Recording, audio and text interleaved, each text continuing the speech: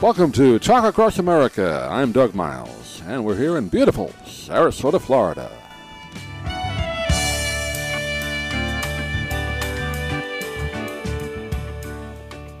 Joining us now, great to welcome a woman who's written a very helpful book. It's called Retirement Reinvention. Actually, make your next act your best act, Retirement Reinvention. We're joined by uh, Robin Ryan, a job expert. She's been on all the talk shows, and we've seen her on television and on radio. And we're happy to welcome her today by telephone. Robin, good to talk with you. How are you? I am terrific. Forgive the voice a little bit. I'm dealing with some allergy issues. I know you just overcame a bit of a health thing, so I'm glad we could reschedule today. So uh, thanks for being with us. Yeah, well, and you know, one of the things is there's so much to talk about. There's so many exciting things that people can be doing when they retire. So I'm glad we're able to have these few minutes to share some ideas. I know you just talked before we uh, we started recording uh, the, our conversation that uh, your parents uh, live down here in our area, Sarasota, Brandon. So you, you're familiar with the area. Of course, it's a great retirement community or retirement area, but you're familiar with it, right? Absolutely. I spend every waking moment at the beach when I'm visiting because I love the beaches there. well, let's talk about it. retirement. Is kind of a, a word people will say, "Oh, I'd love to, you know, eventually retire," and uh, when it happens, whatever age it is. But it's changed a lot, hasn't it? The, the thought of it and what actually has to go into it uh, in the last ten or fifteen years. Absolutely, and the the thing is that 10,000 baby boomers are retiring every day, and our parents' retirement, you know, where we don't do anything, it's just a life of leisure. Um, that's not enough for the baby boomers. A lot of them, 72%, want to have some kind of fun job or they want to volunteer and give back. And of course, Florida is full of snowbirds. My parents were snowbirds. Um, and, and they're there to not only enjoy the weather, but meet new people and do new activities, whether that's bicycling or rowing or uh, maybe even water skiing. You name it, they want to try new things. I guess you, have to kind of look at it nowadays. Uh, I think your parents, and I know my dad, uh, uh, was at a job. He was in the banking business, and he was fortunate enough to stay there for uh, 42 years and got a nice pension and all that. But unfortunately, uh, a lot of people, particularly baby boomers, maybe of today's you know age group, don't have that option. So that really changes how they look at retirement, right? How, how are you going to fund it? Well, I don't focus on the financial aspect, but I do right. focus on how to find a fun job. And that could be a paid job. It can be anything from, you know, a few hundred dollars a month to a few thousand a month. But again, there's those over 60 entrepreneurs, and uh, they are starting big businesses. Their eyes are on the prize of making a hundred or two hundred thousand dollars a year and replacing the lifestyle that they had. Most of those businesses seem to be service businesses, and I talk about that in the book too, and give you, you know, there's over 200 stories and examples, lots of ways to inspire your listeners so that they can improve their life and make it better. And I know you also talk in the book very important, uh, deciding where you're going to live. Obviously, uh, so many people. in Florida has always been the place people thought of as retirement. Maybe the majority now. You see more people go out west or uh, maybe uh, northwest or you know, different parts of the country. But uh, you really have to kind of plan that out, don't you? I know you give some uh, keys in the book of figuring out how much it's going to cost wherever you go. Well, I talk about how much it's going to cost, but there's also the emotional factor. When you leave your home, you leave behind all your friends, your network, your doctor, your churches, the community you've known all your life. You're starting over.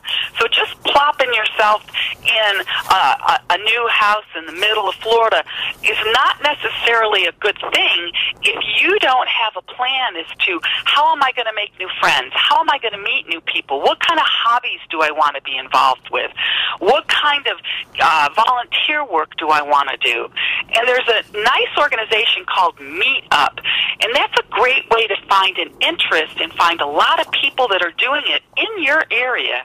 But planning out that move, in fact, the worst thing you can do is retire today and move next week. it's just too much change, and the people that do that really quickly regret it and find that that it was much bigger than they thought. They lost too much. They lost all their connection with work and they lost all their connection with friends.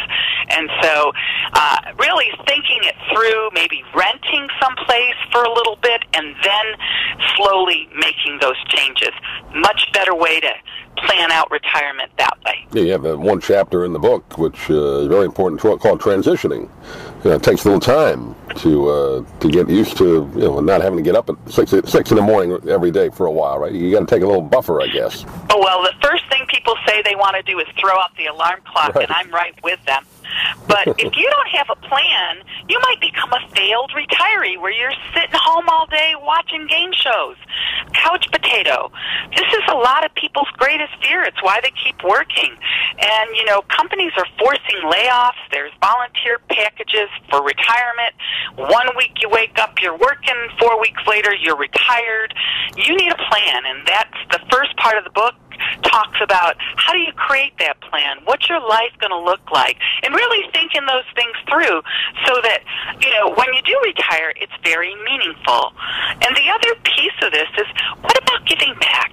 If you donated just five to ten hours a month. Think about the amazing difference us baby boomers could make. And don't tell me, oh, in Florida they don't want the sunbirds to give back. There's so many opportunities. Just find one that appreciates your skill. Maybe it's something you do for a charity up north, and then you just follow through and do it at the same charity when you are in Florida. See, there's just lots of ways you hadn't thought about before. Now, how about Robin? Uh, you know, if you need to get a job as a retired person, maybe you just to make extra money, or maybe some people unfortunately need to work to you know pay their bills and still work somehow. how, how is the job market for uh, retirees? I mean, is is there a stigma still, or how do you go about that? Oh, nope, it's changing because now that we have full employment, employers are desperate for workers and they will craft hours. So you want to work during the day, they'll give it to you.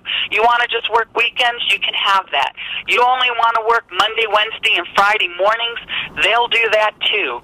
So uh, there's a lot of options. We see retailers, we see online organizations through staffing agencies which pay more. In fact, a really good part-time job is, you know, those ones in Walmart and Costco and Sam's where they're demonstrating the food. Right. They're getting paid twenty, twenty-five dollars an hour. So stop laughing at them and realize that's a hundred and fifty dollars for one day, and that if that's a lot better than ten bucks an hour minimum wage. Think about the difference that that's good to hear. I'm not. I'm not quite at retirement yet. I got a few years to go, but um, I'm late baby boomer age, so that's good to know. So there, there's there's hope for us younger baby boomers, right? to find work. Well, you know what? People people are retiring in their 50s and their 60s, and keep it this way: the 60s are the go-go generation, the 70s are the slow-go generation, and the 80s are the no-go generation. so for two for two decades, you can have a very very active lifestyle, but you got to plan it out. You got got to be open to new things and flexible and uh, going on and taking some classes. You can go to college for free, maybe even earn a degree.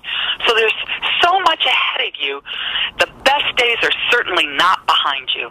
You're living your best days right now, and and I learned that when I went through breast cancer. You got to take advantage sure. of the days that you have. I was going to say, you just mentioned it. You know, don't be afraid to go back to school if you like. I mean, uh, I went to school a second for a second degree, and I was, I thought maybe I'd be the only one in my age group there, but there were a lot of people, older people, when I went about ten years ago. So that's that's I not unusual. Go for free. I didn't Florida, go for free, but Florida, uh, State School, Florida State School offered them the opportunity to go to college for free. They need to call the registrar and ask about it. It's not something they're going to find advertised. You call the university, and it has to be the public universities, call and ask, what about classes for free for people over 60? Yeah. And they'll tell you all about it and how to register. And there's so many offerings that you could go to school for the next 20 years and not repeat a class. That's good, good advice, and uh, it's filled with great advice. This book called "Make Your Next Act Your Best Act: Retirement Reinvention," and uh, Robin Ryan has been our guest today. And Robin, I know you have a website. Give that out if you would. People get more information about uh, the book. Yeah, and there's resources there. It's called My Retirement Reinvention.com. My MyRetirementReinvention.com. MyRetirementReinvention.com. The book's also available on Amazon, Barnes & Noble, Books A Million. So whatever way you want to get it, it will certainly help you. Great. Robin, pleasure talking to you. I'm glad we could reschedule. Forgive uh, my voice today, but I'm, I'm, glad we had a chance to talk, and uh, hopefully we can do it again. And uh, maybe we'll meet you up one of these days when you come down to Brandon if, if you head this way again. Sounds good.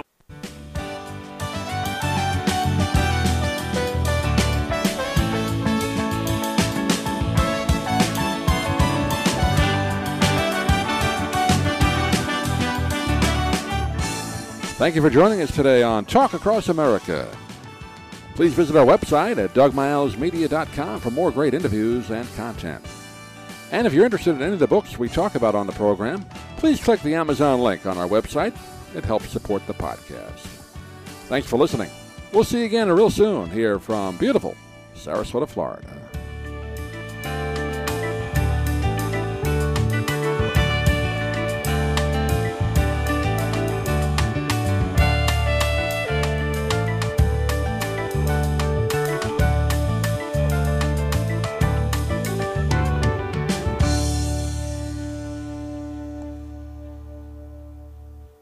I'm Stan Brock. 30 years ago, I formed Remote Area Medical to help people overseas. But then we found generations of families in America isolated by poverty from the health care they need.